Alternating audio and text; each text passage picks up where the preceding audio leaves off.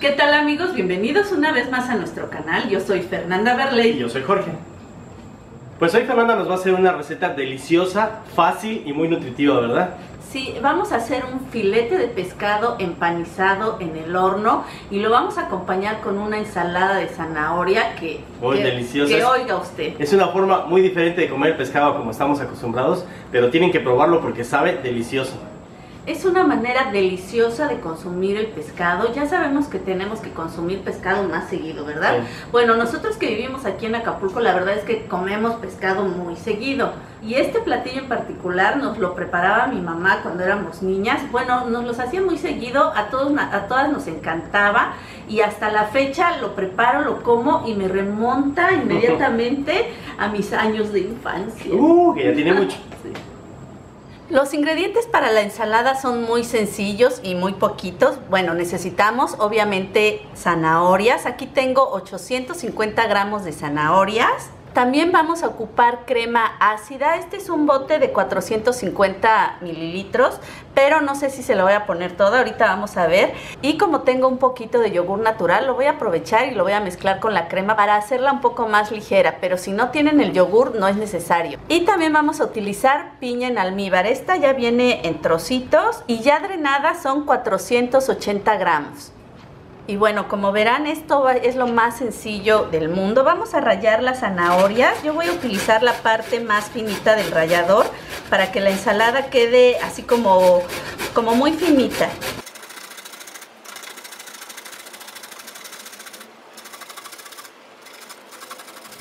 Bien, aquí ya tengo toda la zanahoria rallada. Como ven es bastante, pero bueno, es que aquí en la casa esta ensalada es una de las favoritas. Y ahora, como les dije, aquí tengo un poco de yogur. Es yogur natural, es este tipo griego, estilo griego.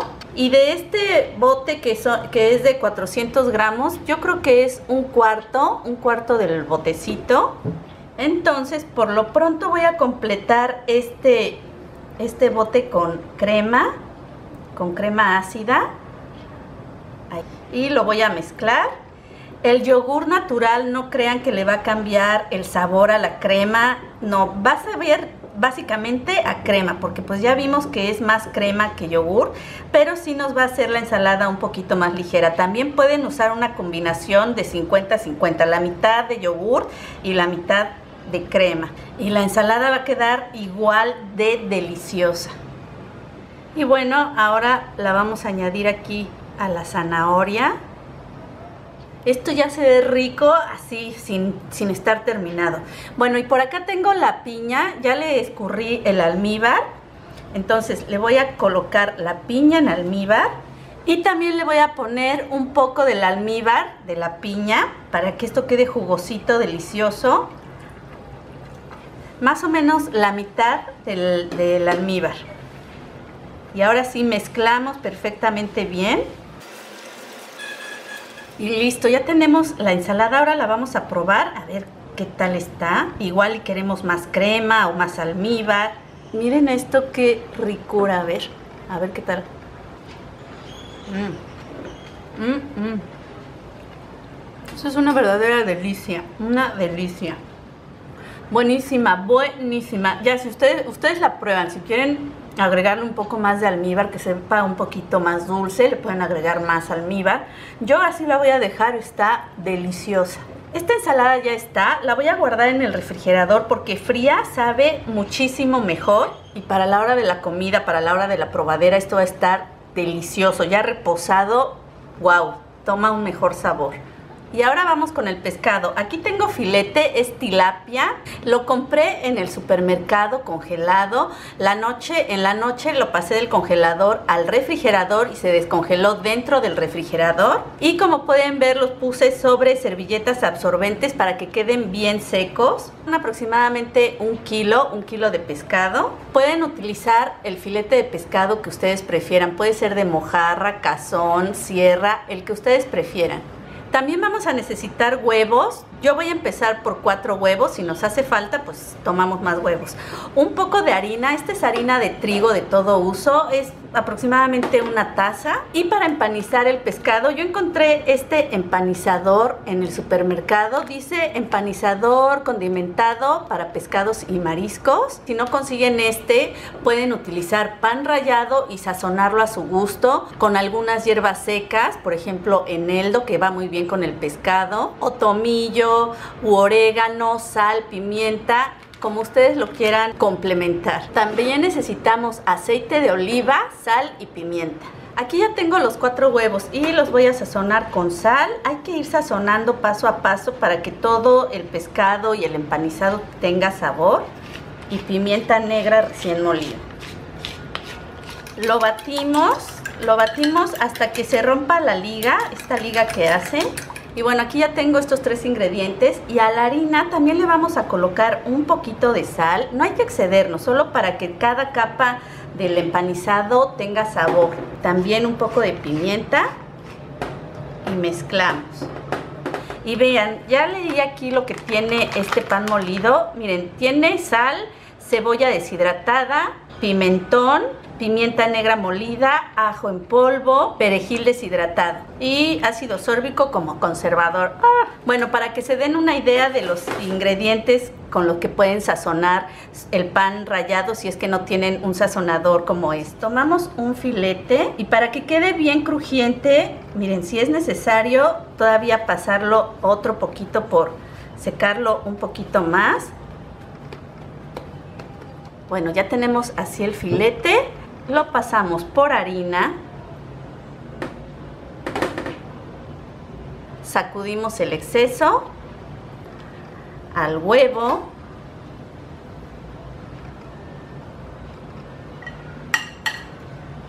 escurrimos y finalmente al pan. Ya simplemente lo cubrimos con el pan molido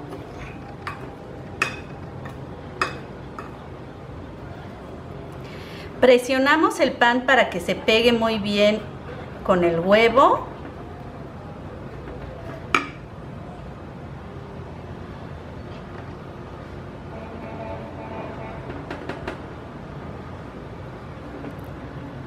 Y listo, ya tenemos nuestro primer filete empanizado y así nos vamos a seguir con los demás. En este momento ya podemos encender el horno, precalentarlo a 180 grados, de 180 a 200 grados centígrados va a estar bien. El pescado se cuece muy rápido, eh, queremos que se dore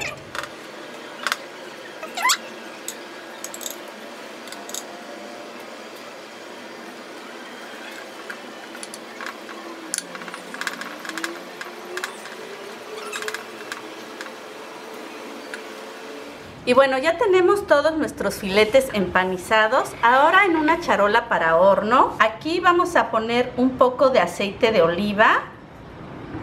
Sí, lo extendemos con una brocha o con una servilleta.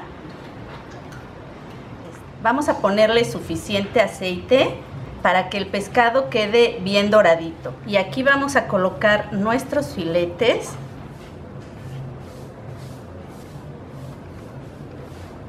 Y sobre los filetes también les vamos a poner aceite.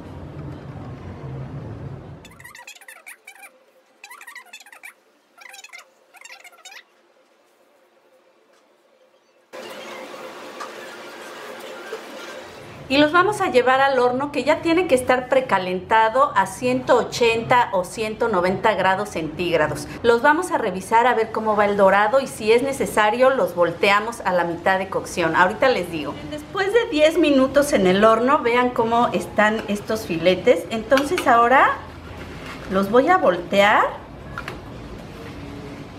Vean qué rico.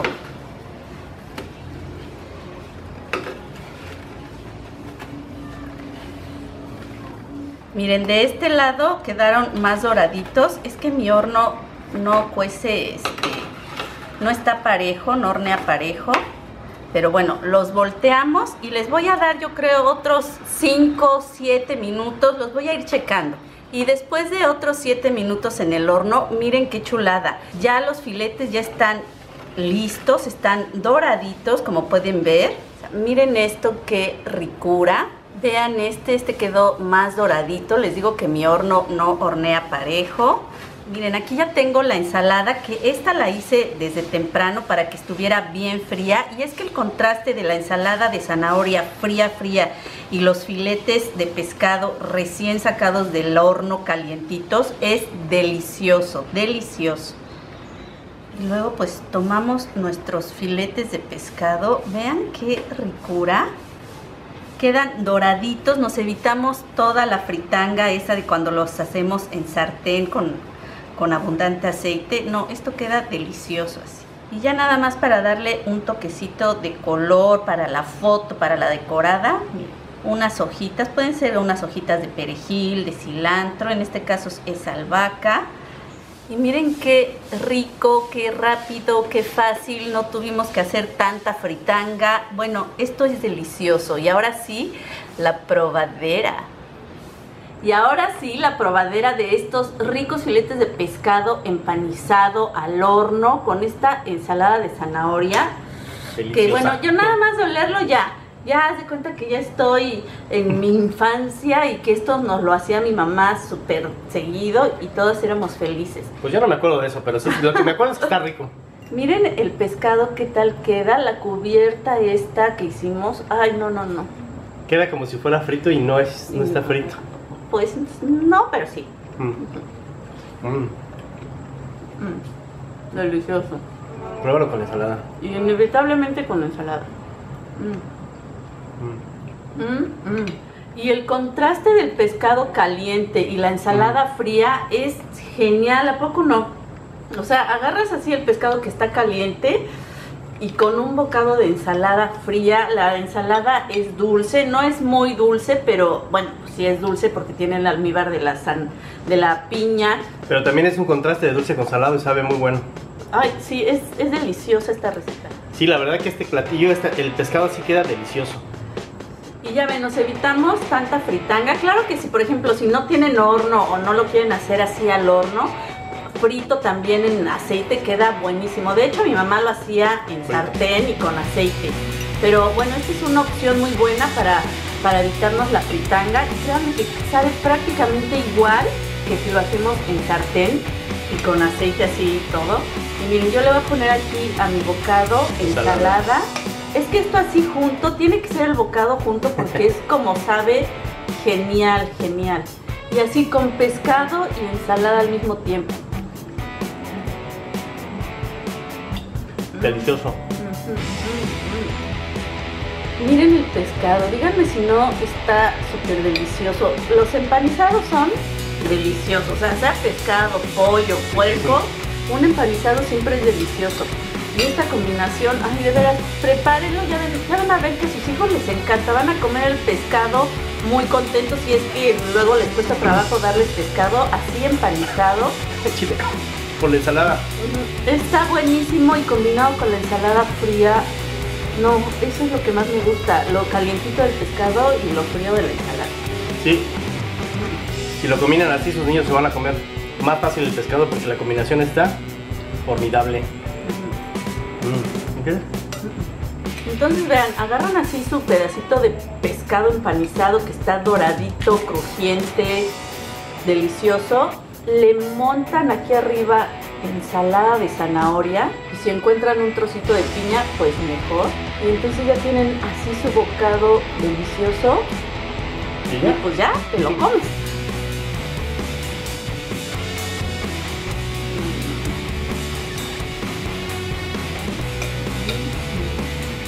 ¿Te sientes más chiquita? Esperamos que les haya gustado esta receta. Si les gustó, póngale dedito arriba y suscríbase con el botoncito rojo que dice suscribirse. Y no olviden compartir este video, activar la campanita para que les lleguen las notificaciones. Y tampoco olviden que nosotros los esperamos en, el, próximo, video.